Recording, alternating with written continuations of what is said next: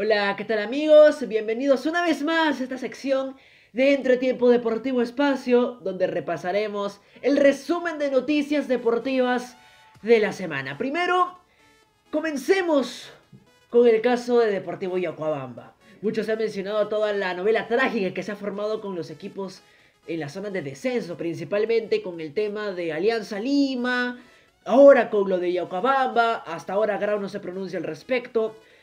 Entonces, ¿qué pasa primero con Yacuabamba? Primero, sabemos que en anteriores programas ya habíamos conversado acerca de esto, que los dirigentes de Yacuabamba están en desacuerdo con el tema del descenso y que proponían dos, dos planteamientos. Primero, o anular el descenso en general o anular el descenso para Yacuabamba, lo cual desde mi perspectiva me parece irrelevante, me parece totalmente incoherente, mejor dicho. Porque también se mencionó que ellos querían una imparcialidad. Sin embargo, el hecho de quitarles solo a ellos, darles el privilegio de que ellos solo se salven de la baja, ya sería una parcialidad por parte del reglamento. Ahora, ¿qué menciona el abogado de Deportivo Yacomba? Lo siguiente. Si obtenemos un pronunciamiento expreso de la FPF, podemos ir por vía del TAS a través de una apelación. Si no ocurre lo primero, siempre está la vía de la FIFA. Además agregó que apenas salga la resolución de la baja, que ello debería ocurrir probablemente el 21 de diciembre, ya cuando se tenga el ganador del, de la Liga 1, Movistar, del 2020, ya cuando se tengan definidos todos los resultados del torneo. Ya es ahí donde el tema ya estaría definido. Ahora, como lo discutimos en el programa anterior y en otros, el tema de recurrir al TAS, y esto también lo mencionamos con el tema de Alianza Lima, el tema de recurrir al TAS es riesgoso. El TAS no es una simple llamada de WhatsApp que te van a contestar en las próximas tres horitas. No. No es que mañana, en tres meses se va a solucionar el tema, en una semana ya está, se anula el descenso, me quedo en Liga 1, campeono.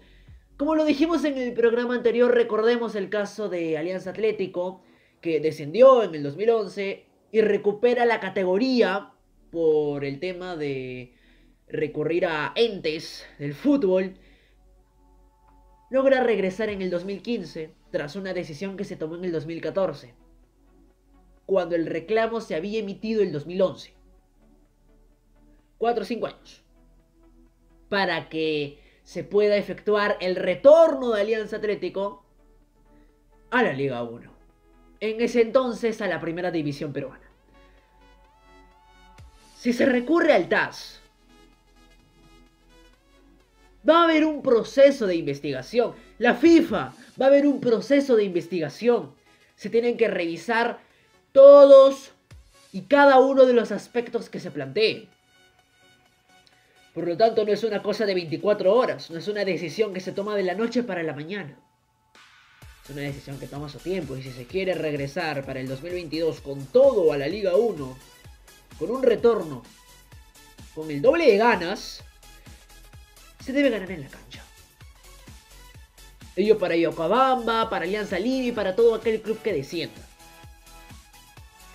En lo personal, al ver los casos de Yacuabamba, de Alianza Lima, que tienen la esperanza y generan la incertidumbre sobre su permanencia o no en la Liga 1 el próximo año, y bueno, no he leído acerca de este tema con Atlético Grau, por lo que se infiere de que Atlético Grau acepta su situación, acepta que lo ha dejado todo en la cancha y que lo seguirá haciendo hasta regresar a la Liga 1. Lo que me parece totalmente aplaudible para lo que es el equipo de Atlético Grau y lo que significa el club. Ha ganado la Copa Bicentenario, ascendió a Liga 1, a partir de ganar la Copa Bicentenario, clasifica a Copa Sudamericana. Hubo roce. Y ese mismo, ese mismo historial que tuvo Grau en poco tiempo lo demostró al destacar y resaltar con acciones que van a generar lo que hacen en la cancha. para lo que es la búsqueda de su retorno a la Liga 1. Ahora, hemos hablado de Yacuabamba y también es importante hablar de Alianza Lima y sobre todo con esta novela que se está formando. Alianza Lima necesita una reestructuración no mañana, sino ahora, para ayer incluso.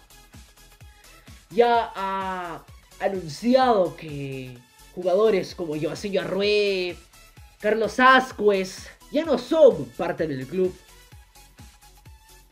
Sin embargo, mucho se rumorea acerca de lo que viene Alianza Lima, porque mucho se habla de salir, sin embargo, de ingresos no se habla. Se hablan de reclamos a entes como el TAS, a la misma Federación Peruana de Fútbol, pero con respecto a lo que viene, se habla poco.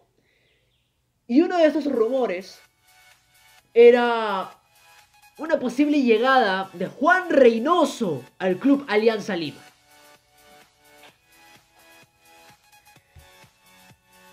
¿Por qué? Bueno, sabemos que Juan Reynoso ha estado en la Liga MX, la Liga Mexicana, que tiene nivel. Ahora, no va a dirigir la Liga Mexicana posteriormente, que por un tema de VAR, de incumplimiento, Juan Reynoso ya no va a dirigir más ahí en la Liga Mexicana. Sin embargo, a través y a raíz de participar, a raíz de estar presente como director técnico en el Puebla de México, de una liga tan importante como lo es la Liga Mexicana, él mismo ha expresado su deseo por formar parte por eh, dirigir un club europeo o incluso dirigir la selección peruana. Es decir, catapultar su carrera como director técnico. Ahora, esto de la relación entre Alianza Lima y Juan Reynoso no es más que un rumor. Y él mismo lo ha aclarado. Porque él mencionó que de Alianza Lima nadie se había contactado con él y él mismo aclaró que eran solo rumores. Ahora, él menciona lo siguiente. Hoy me veo más con México, esperando una nueva oportunidad, quemando etapas para en un futuro pensar en la selección o en algún club de Europa. Y ahora, agregado a esto, menciona algo que yo comparto. No puede ser que en pleno 2020 todavía estemos peleando puntos para ver si nos quedamos en ABC categoría. Y es lo que lamentablemente está haciendo Alianza Lima. Fondo Blanquiazul, entre otros el hecho de emitir comunicados, emitir documentos, hacer un Word, elaborar un PDF de informes, de puntitos, asteriscos, un 1, 2, 3, un 1.1, secciones, genera seguridad en tu club, genera esperanza en tu club, genera ese sentimiento en el hincha de decir, wow, vamos, voy a formar parte de lo que es la Liga 1 el próximo año, me salvo de esta. A los futuros Jugadores que deseen incorporarse a Alianza Lima para guerrear el ascenso. ¿A generar esto? Porque ¿qué se quiere hacer? Contratar jugadores para decir, mira, vas a jugar en un club que es de tradición futbolística en Perú. Para defender su historia y buscar el ascenso a Liga 1 para volver a la primera división el 2022. O se quiere plantear que aquí nunca pasó nada, me lavo las manos, nosotros siempre estuvimos en Liga 1, nunca hubo descenso. ¿Qué se quiere plantear? Porque ahora se está manejando una total incertidumbre. Y lo vemos esto más claro. No hay mayor evidencia, no hay mejor evidencia que el caso de Gabriel Achillier, ex seleccionado ecuatoriano ex zaguero central de la selección de Ecuador. Mundialista con la selección ecuatoriana en Brasil 2014. Tres veces campeón con Emelec. Jugando en la Liga MX con Necaxa. Ligas importantes, miren. Liga Mexicana, Liga Ecuatoriana.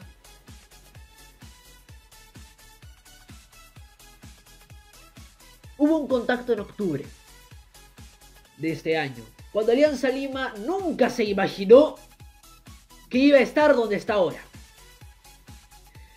Cuando estaba Daniel Amet, hubo un contacto entre Daniel Amet y el representante de Gabriela Chelier para llegar a un acuerdo y el próximo año, al parecer independientemente de la situación de alianza, es decir, en el 2021 ya Gabriela Chelier se incorporaría a filas blanquiazules. El representante Santiago Arvide se pronunció con respecto a este tema después de la confirmación del descenso de Alianza Lima, del lamentable descenso de Alianza Lima. Mencionando que el tema de la situación actual del club es un factor que puede variar las otras variables, valga la redundancia, de lo que es el contrato de Achillier con Alianza Lima. Ahora, según Transfermarkt, el costo actual de Gabriel Achillier son 300.000 euros. No es necesario ser un empresario futbolístico, ser un empresario deportivo, profesional, para ser conocedor que un equipo de Liga 2 ficha un jugador de este costo, de este valor. Hablando de dinero, hablando de cantidades, hablando de sumas. Matemáticas.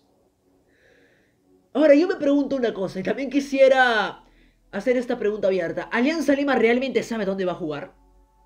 Como lo mencioné anteriormente con el caso del tema de la incertidumbre, ¿Alianza Lima realmente sabe dónde va a jugar? Porque al emitir documentos se plantea la esperanza de seguir en la Liga 1 en el próximo año. Se plantea de que Alianza Lima está reclamando algo justo, que Alianza Lima merece estar en Liga 1, no porque jugaron bien, no porque se hicieron los fichajes correctos, los fichajes del año llevaron Alianza a esta situación. Yandesa, Carlos Ascuez, Aldair Salazar, Reinaldo Cruzado, Joaciño Arruebe, Toda Silva, Mudo Rodríguez, Patricio Rubio, Leao Butrón, Steven Rivadeneira, Cluivert Aguilar. Nombres como lo dije en anteriores programas, nombres, nombres, nombres y más nombres. Y en la cancha se perdieron muchos partidos. En la fase 2 solo se ganaron 4 puntos. Una victoria ante Melgar que le devolvió las esperanzas a Alianza Lima un 4-0. Que alzó Alianza Lima por las nubes. Dándose una cachetada con el empate ante Yokohama y regresando a la realidad en los próximos partidos.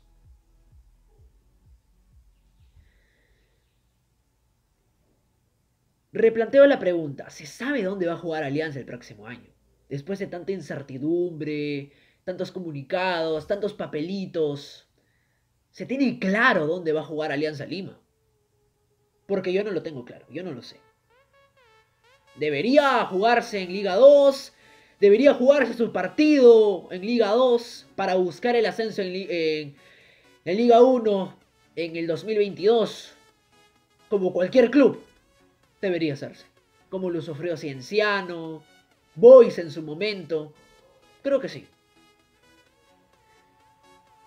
Pero no soy quien, no somos quienes para afirmar el futuro. Probablemente sí se salve Alianza Lima. Pero si se sale Alianza, en la memoria nunca se van a borrar estas imágenes. Las imágenes de los jugadores en el césped llorando, devastados por el descenso, irremediable de lo que sucedió en cancha. Porque, y seguiré repitiendo esto, cada vez que se toque este tema, el hecho de poner a un jugador que estaba cojeando más de la mitad del partido para bater un penal y no tener la suficiente autoridad para decirle que no puede, define totalmente a Daniel Amet. Y con nombres, a Daniel Amet. Y a la directiva de Alianza. En mi opinión, se debe haber una lavada de cara, saber dónde se van a encontrar el próximo año toparse con su realidad. Ojo, tanto Chiller como su representante Santiago Arvide manifestaron que independientemente de la situación de Alianza, estando en Liga 1, Liga 2, el contrato se iba a dar. Pero el contrato. Hay un presupuesto que pagar. Alianza Lima está en las condiciones financieras para seguir el contrato. No lo sabemos. Entonces, es cierto que Achelier, con la experiencia que manifiesta, va a influir mucho en Alianza. Ahora, Alianza Lima, que siempre ha sufrido del medio campo para atrás. Grandes expectativas, pero las realidades pueden ser otras. Ahora, continuando con las noticias, este, siguiendo con el tema de Alianza Lima, ya vamos un poco más a lo que es la historia de Alianza, un hecho trágico que se conmemora todos los 8 de diciembre. En el año 1987 hubo un suceso trágico, lo conocemos, este es el accidente fatídico del Fokker F-27 en el año 1987. Entonces, en honor a los jugadores, comando técnico y personal de Alianza Lima, fallecidos en general, se hizo una romería en la mañana del 8 de diciembre de este año, en honor a todo el plantel y a todo aquel que, bueno, sufrió con este accidente. Y Alianza Lima, en su cuenta oficial de Twitter, manifestó lo siguiente, desde Tumbes a Satacna, desde Pucallpa a la gloria. Hoy conmemoramos los 33 años de nuestros mártires aliancistas, quienes defendieron y amaron la blanqueazul. Siempre vivirán en nuestros corazones.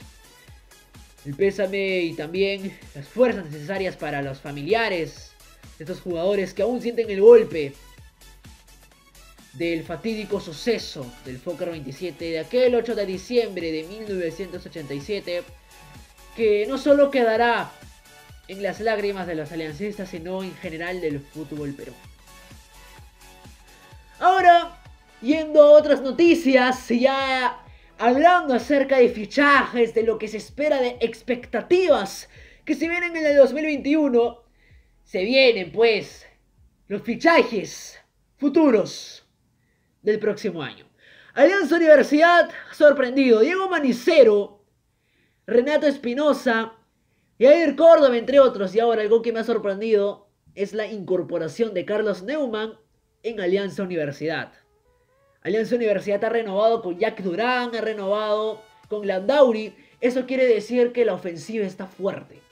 Porque Jack Durán ha demostrado toda su capacidad. Y ahora, el ex, ahora bueno, ex jugador de Sport Huancayo, ex goleador 9 de Sport Huancayo, Neumann, incorporándose a Alianza Universidad, el peso ofensivo va a incrementarse. Totalmente positivo lo que hace Alianza Universidad y ahora Universitario de Deportes.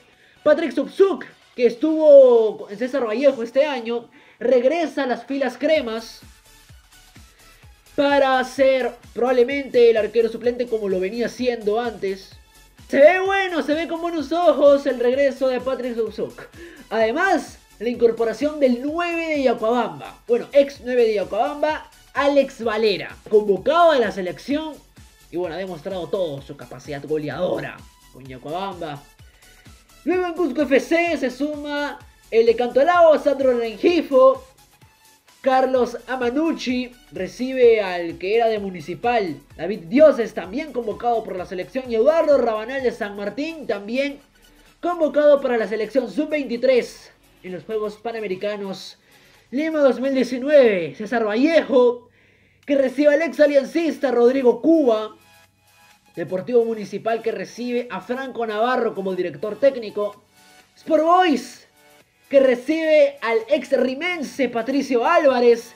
Ernest Nungaray, ex de, Ayacucho FC. Y José Bolívar. Y ahora, ojo con Sport Huancayo, que recibe a un jugador totalmente interesante. Y lo descubriremos después de este espacio publicitario. Regresamos con más noticias. Ahorita volvemos. Pentasoft Solutions, especialistas en facturación electrónica y software para tu empresa. Visita la página de www.pentasoft.net.pe o contáctate con el 9966 para más información. Bien, ahora sí regresamos con las noticias. Y bien, este jugador de Sport Huancayo es nada más y nada menos que Ellington Costa, de nacionalidad brasilera, y llega a Sport Huancayo luego de jugar en Finlandia, en Inter Turku. En la última temporada, el delantero en el Inter Turku de Finlandia disputó 17 encuentros a lo largo de 431 minutos, tiempo en el que logró anotar un gol que sirvió para el triunfo de su equipo en el duelo de ante Haka por la primera división de Finlandia conocida como la Liga. Ahora, esta incorporación, hablando de un jugador que ha tenido roce internacional, juego en Finlandia, nacionalidad brasileña, vamos a ver qué trae el fútbol finlandés a Sport Huancayo, es decir, todo lo adquirido en el fútbol de Finlandia ¿Cómo podrá trasladar en Sport Huancayo? Sport Huancayo que ha hecho una campaña muy satisfactoria, estando participando adecuadamente, dando un buen performance en lo que fue la Liga 1 de este año 2020, presentándose de manera respetable en lo que es la Copa Sudamericana contra Coquimbo, dando la talla en la ida, perdiendo en la vuelta, sin embargo, con la frente en alto. Gran representación de Sport Huancayo en la Copa Sudamericana, Liga 1 entre otros. Así que, bien por ellos con respecto a dicho fichaje.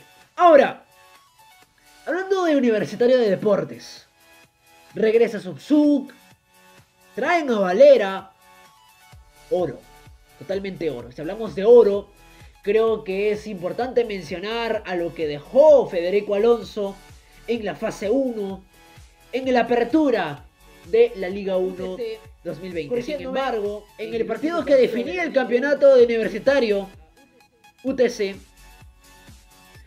Federico Alonso sufrió una lesión en el brazo. A partir de dicha lesión, se pierde toda la fase 2. Y Universitario sufrió mucho en lo que es la zona defensiva en los partidos de la fase 2.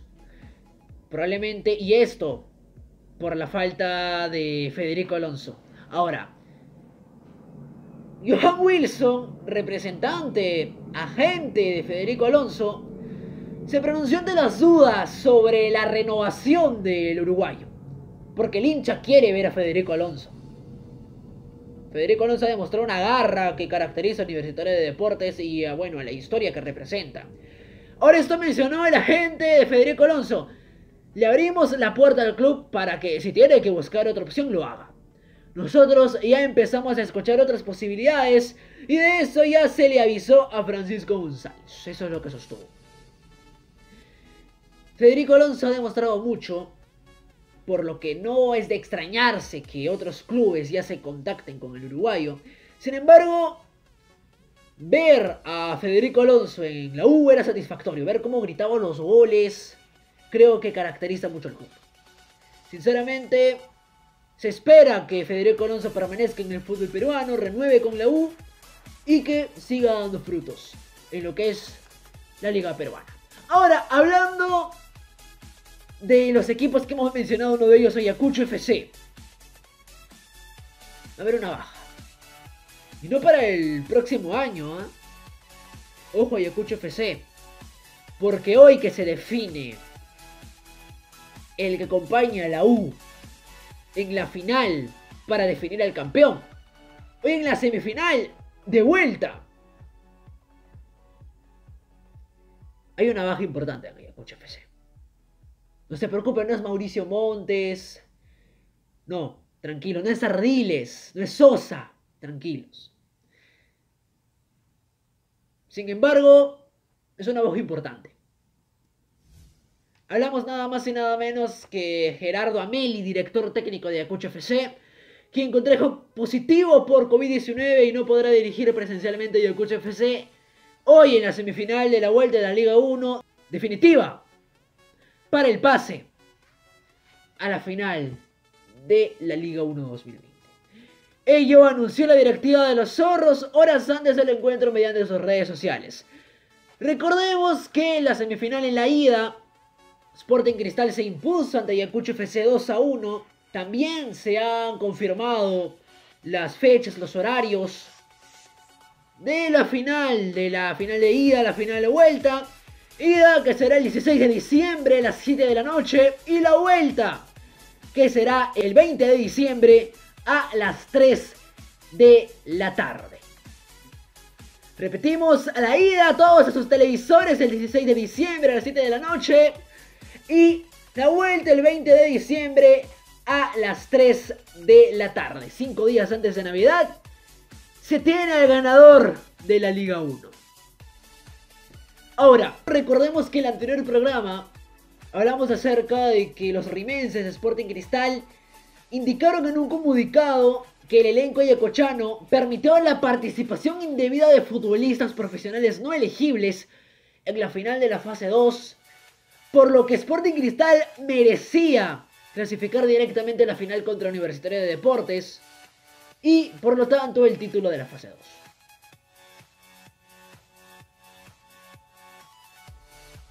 Ayacucho FC se pronunció al respecto, por fin. Ello el 7 de diciembre el presidente del club mencionó lo siguiente. Somos respetuosos de las ideas de los demás.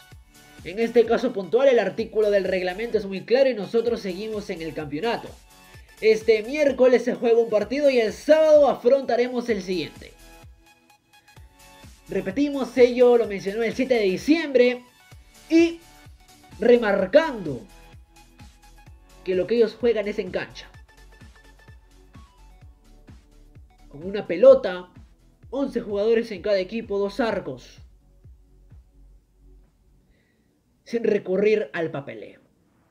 Ello mencionó el club de Ayacucho FC, que hoy disputa la segunda semifinal con Sporting Cristal.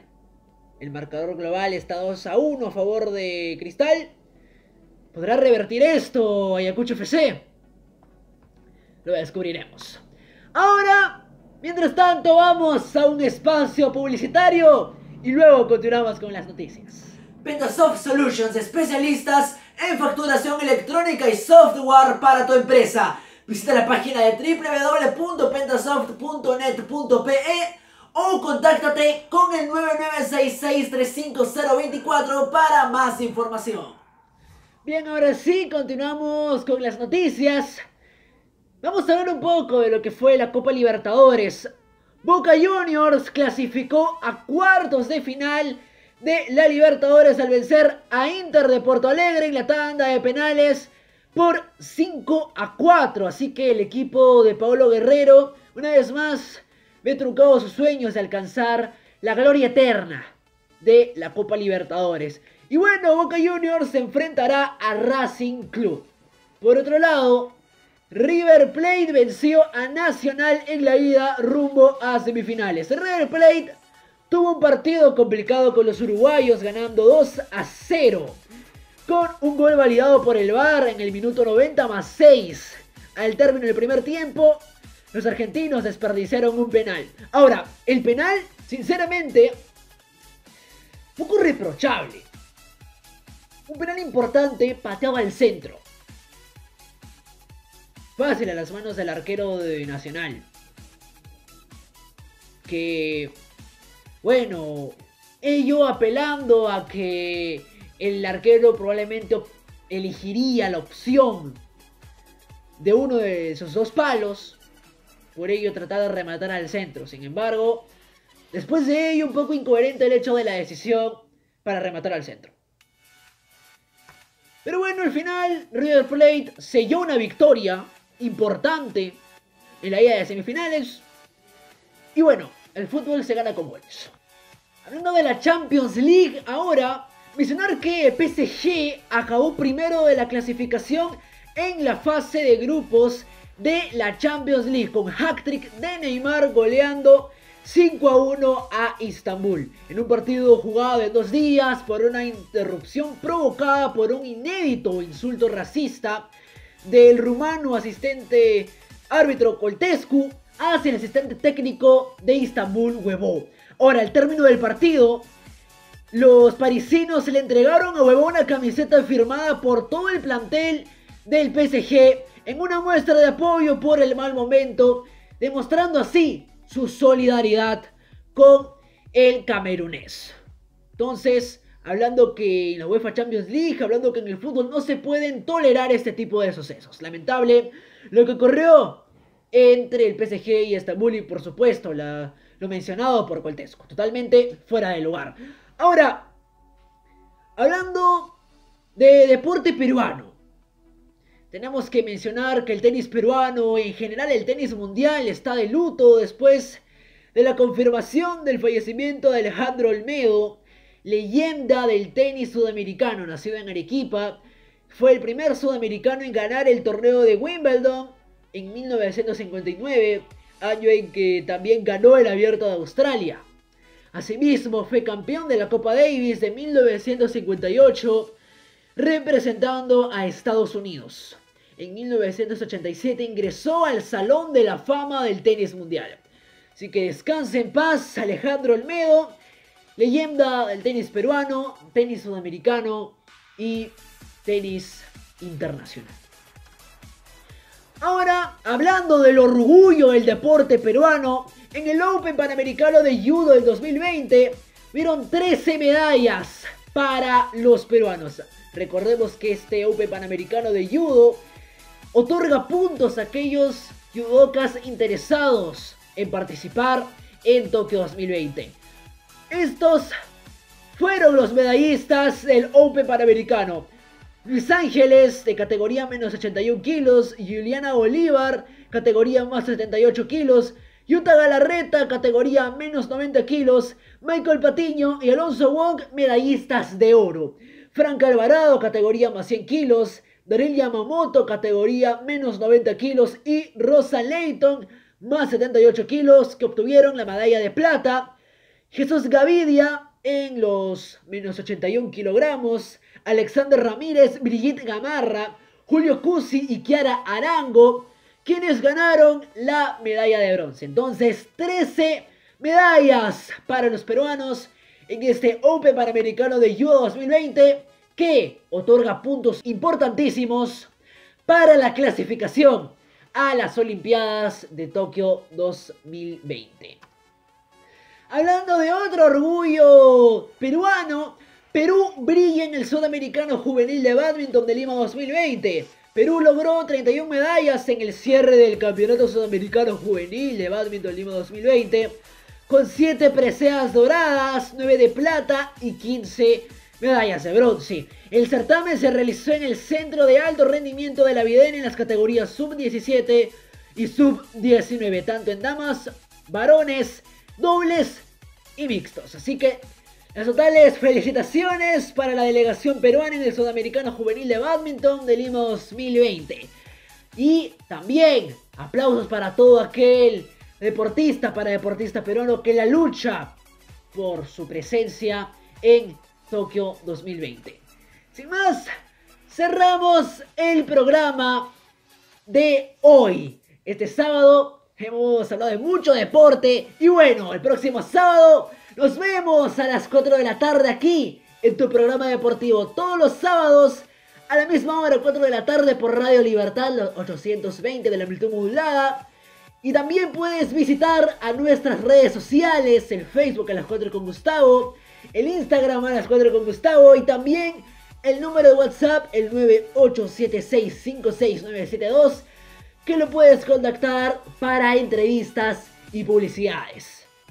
También Puedes seguir la página de Facebook de Noticias Trujillo, donde también compartimos nuestro contenido. Además, también queremos informarte que también puedes colaborar con la Teletón, porque este año han cambiado muchas cosas, pero lo único que no ha cambiado son las ganas de ellos con seguir su camino hacia adelante. Bueno, estas son las formas de colaborar con la Teletón. Ingresa a la www.teletón.pe y dale clic al botón colabora aquí. Además, completa los datos con cualquiera de tus tarjetas de crédito y débito. A través de tu banca por internet BCP al número de cuenta 191 01 11 111 033. También en Yape puedes ubicar el botón de Teletón o yapea al número 975-523-842. También puedes apoyar a través de la caja de Plaza Vea y Promart a nivel nacional. La rehabilitación de nuestros niños no se detiene y tu solidaridad tampoco. Hasta el 30 de diciembre puedes efectuar tu colaboración a la Teletón, a teletón.pe. Y con ello, chicos, nos despedimos. Recuerden colaborar con la Teletón y el próximo sábado nos vemos aquí en tu programa a las 4 con Gustavo. Chao, nos vemos, compromiso.